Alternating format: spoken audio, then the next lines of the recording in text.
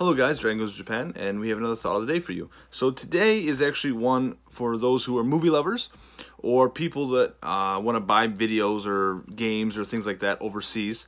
Um, there's just something you need to be cautious and wary of.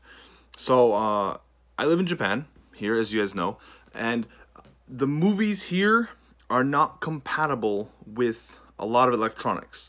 And what I mean by that is when it comes to technology, uh, computers, PlayStations, uh, any of that, the quality, I'm sorry, not the quality, the actual format actually changes based upon your country. So since I'm an American, uh, all my equipment is from America. So I come from Michigan. So all my stuff is what's considered region one equipment. So my laptop, both my, I'm sorry, both my laptops, my PlayStation 4, uh, my CDs, DVDs, anything is going to be region 1. So what that means is that unless it has a region 1 player built into it, you cannot play those things. So it's kind of reverse backward compatible. So a, a level a region 2 cannot play a region 1. But a region 1 can play everything, you just have to adjust the settings. So I can adjust the settings, but upon doing so, it can cause a problem with the system because it, it wants to register only one version of use. And I mean the, by simply like this. So here's a Blu-ray. This is a region 1. This is something from America.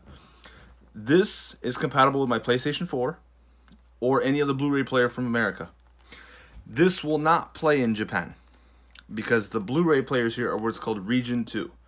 So they have a different uh, kind of system hardware in them that doesn't allow them to play this kind of DVD. And this also goes for games. So I have a PlayStation 4. I run a gaming channel like I've talked about. All my games are Region 1. So I can't buy a game in Japan and play it on my PlayStation. It doesn't work that way. So when it comes to compatibility, Region 1 and Region 2 are very different when it comes to technology. Now this goes for, like I said, movies. Uh, it also goes for CDs from what I hear. I haven't tried CDs, but I know for sure DVDs is a big one because I try and rent movies Thankfully, my other laptop uh, allows me to play Region 2 right now because it hasn't specified Region 1 or Region 2 in its actual programming. So I can do that. You can reset a computer, I was told, and reset the settings to Region 2 if you want. But it's kind of a, a messy thing to kind of fix. So I haven't touched it. I haven't messed with that kind of thing. So I'm just kind of bringing this issue up for me, because it's not an issue because I, I'm aware of it, but people who move here, this is something you should be very conscious and wary of. If you want to stay in Japan for like a month or a couple months, or even a couple weeks here, and you say, oh, I'll go rent a DVD or movie or something, and you know, it should be no problem, like you can in America. You have to be cautious and wary of your electronics. So if you have a play uh, a laptop, see if it has a, a region 2 setting if you're not from Asia. And also, when it comes to that, if you're from Region 3, which I'm not quite sure where Region 3 resides. From what I understand, it's mostly island nations. Uh, French Polynesia, the Philippines, Guam. I think Guam is actually still one, but there's a few other ones. Anyone who knows the actual spe uh, specifics, please put in the comment section. Uh, I know that I'm Region 1, there's Region 2 and Region 3, how it works for electronics. Uh, so, because of that, I cannot buy games or movies here in Japan because I can't play them. Now I can rent movies and play them on my, my computer uh, my computer, but I can't buy any games here for my PlayStation. I have to have everything ordered overseas, which means it's two weeks after release date until they get here, which is a real pain. But that's what you have to pay for when you want hard discs. But when it comes to everything else, Blu-rays, games, stuff like that, it's pretty easy to get around as long as you have a Region 1 based computer. So uh, it's very important and very imperative that people are aware of this because if you need something for your presentation or, and I mean this, if you burn a DVD, I'm sorry, if you burn a CD here or a DVD, you have to set it to region one. So people will say, hey, can you burn me an English copy of blah, blah, blah. Sure, but the problem is, is when it writes it, it's going to write it as a region one disc, not as a region two. So they won't be able to watch it and this is kind of going out there for the you know people that hack and stuff like that. Don't do that here because they they take piracy very serious.